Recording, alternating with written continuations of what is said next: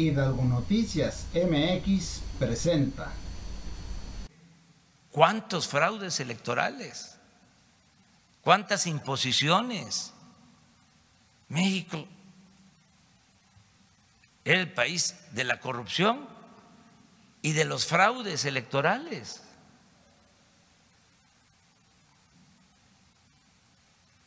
Entonces, la reforma al 19 es delito grave.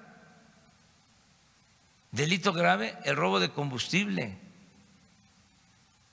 Delito grave la evasión fiscal en su modalidad de facturas falsas y de crear empresas fantasmas. ¿Cuál es el principal problema de México? Y muy pronto quiero decir, ¿cuál era el principal problema de México? Corrupción. La corrupción. Entonces, no se castigaba. Acuérdense ustedes, eran famosísimos los abogados que actuaban como diputados, como senadores, tienen una gran influencia. Entonces ajustaron todo el marco legal para tener impunidad. Se llegó al extremo de aprobar leyes, en el caso de Pemex, por ejemplo, para que eh, los altos funcionarios de Pemex contaran con eh, recursos para pagar fianzas. Es decir, un funcionario es acusado por un hecho de corrupción y además de que no se consideraba delito grave, ante cualquier circunstancia, cualquier circunstancia, tenía eh, la eh, posibilidad de que la empresa pagara su fianza. Que porque así era en el extranjero. Copiaron todos los modelos, todo lo que les convenía en, el arreglo del marco eh, legal. Entonces, 30 años cambiando la constitución con ese propósito y luego eh, viene ¿no? la aprobación de el Instituto de la Transparencia. ¿Para qué sirve? Pura simulación. Nada más para aparentar de que se iba a combatir la corrupción. Luego, el Instituto Anticorrupción. Y ya ni les digo de cuántas organizaciones de la llamada sociedad civil se crearon en contra de la corrupción. Hay una ahí muy famosa, ¿no? Yo, este, hasta les digo, que no sabían cuando fundaron esa asociación? No me han contestado todavía. Que no estaba considerado delito grave la corrupción. Saben que cuando modificaron el Código Penal, pues era Salinas de Gortari, presidente. Y en ese gobierno, no sé si antes, durante o después, pero en el sexenio Salinas, el señor Claudio X González era asesor económico del gobierno.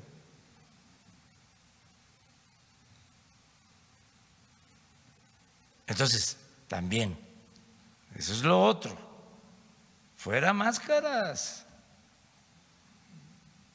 Ya no se puede mantener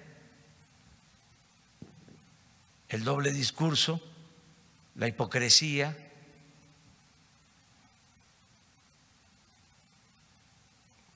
Participaron en el fraude del 2006 estos defensores de la honestidad, estos que ahora son paladines de la libertad y de la democracia. Allá están los manifiestos apoyando el fraude. Pero no solo eso, iban los eh, representantes de estos grupos a ver a los directivos de los medios. Yo recuerdo que antes del fraude del 2006, lo digo ahora porque lo escribí y es público, una semana antes de la elección, una reunión, una comida con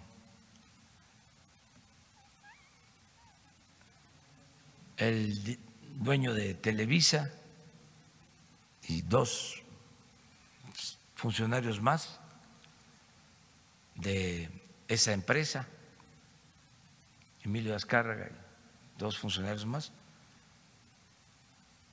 y me sacan un documento en donde yo supuestamente iba a expropiar Televisa si ganaba. Hasta me llamó la atención porque me quedé con el documento. Lo tengo. Eh, y eh, bien estructurado, o sea, este, con considerandos, pruebas, o sea, el nombre de todas las empresas que íbamos a expropiar.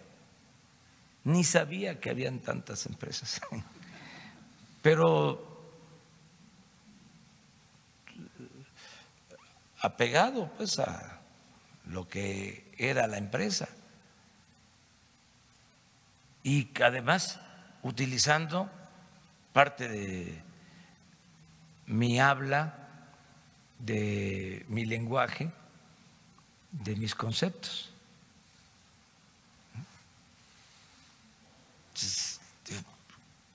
¿Cómo creen esto? Me quedé con el documento, pero bueno. Y en ese entonces la actividad, ya que andamos en estos temas, era ir a ver a los dueños de los medios, Claudio X González, el de Coparmex, el de el Consejo de Hombres de Negocios, creo que ese era Claudio, pero ahí están los nombres. Y a decir de que pues yo era un peligro para México y la campaña a todo lo que daba en contra nuestra. Fíjense que estaba toda la campaña en contra nuestra, bombardeo, porque este mismo grupo em, elaboró los mensajes para transmitir en medios y espantando, infundiendo miedo, si gana López Obrador, que es un peligro para México, se van a cerrar los comercios y bajaban las cortinas así, en las imágenes, se caían las bicicletas, se caían las bardas, violando toda la legislación electoral. Financiando toda esta campaña negra. Y le decían a los de los medios más influyentes, este, porque había resistencias, porque decían las televisoras, si nos abrimos por completo, y eso que ya estaba la guerra sucia, todo lo que daba, querían más. Entonces les decían estos personajes, no, no, no, no, no, no, no, todo. Hay que destruirlo políticamente. Y entonces, un dueño de un medio de comunicación, de una televisora, les dice, ¿y la credibilidad? ¿Vamos a perder credibilidad? Fíjese que tenía eh, razón en aquel entonces. ¿Cómo se fue perdiendo credibilidad por esas acciones, por ese sometimiento de los medios a grupos de intereses creados? Y me acuerdo que uno de estos personajes de los medios le contestó, no te preocupes, hombre, cuando mucho van a tener un problema, un mes, dos meses, ya luego se olvida. Pues no se olvidó, ¿eh? No se olvidó. Entonces, ahora es distinto. Desde luego, los medios actúan con mucha más responsabilidad, no solo porque existen las redes sociales, sino porque los medios convencionales entendieron de que ya no se podía seguir con lo mismo. Y ahora hay más libertad, se avanzó muchísimo. Esos mismos medios, Televisa, ya no es lo mismo que antes. No es lo mismo que antes. Y además, no quedarnos anclados en lo que nos hicieron. Por eso yo digo, no olvidar, pero sí perdonar. Y todos tenemos que actuar de esta forma. Y lo mismo estos personajes que encabezaron toda esa campaña. Ahora los veo y los saludo como si nada. Imagínense si yo voy a andar albergando rencores, odios, no podría vivir. Claro que hicieron daño. Yo nada más digo, entre otras cosas, que si no se hubiesen robado la elección del 2006, no estaría así el país. Y no hubiese habido la violencia que hasta ahora estamos padeciendo. Porque sin duda esa estrategia de declarar la guerra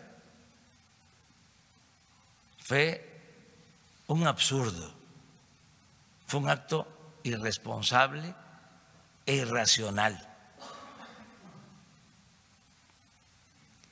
Entre otras cosas, hasta se puso en riesgo la imagen de una institución, de dos instituciones que son fundamentales del Estado, la Secretaría de la Defensa la Secretaría de Marina, porque ellos recibieron las órdenes de la autoridad civil para ir a los enfrentamientos a llevar a cabo una política de utilización de fuerza, sin atender las causas que originan la inseguridad y la violencia, sin tener un conocimiento certero de lo que estaba sucediendo. Fue pegarle un palazo al avispero a lo tonto. Entonces, ya, dejar atrás eso, pero no olvidar eh, no vivir eh, con odios, con rencores. Además que a veces se tiene que hablar de esto porque parece como si no hubiese este, pasado nada, como si llegamos eh, aquí, hay una especie de amnesia, ¿sí? y ya estamos aquí. No, fue un proceso que se llevó a cabo y bueno, fue este, favorable para el país, que es lo más importante.